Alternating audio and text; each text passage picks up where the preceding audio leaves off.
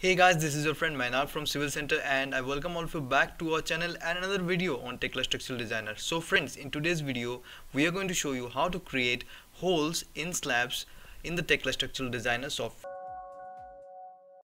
So without wasting any time, let's get started.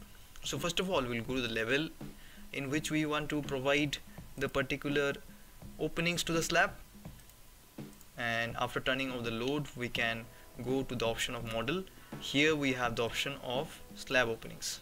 So before we define the slab openings let us use some construction lines. We'll use the construction line parallel quick. We can uh, give any dimensions to it. Escape and again. So this much opening we want. So now we can go to the option of slab opening and then select the portion in which we want to create an opening so as you can see the opening of the slab has been created.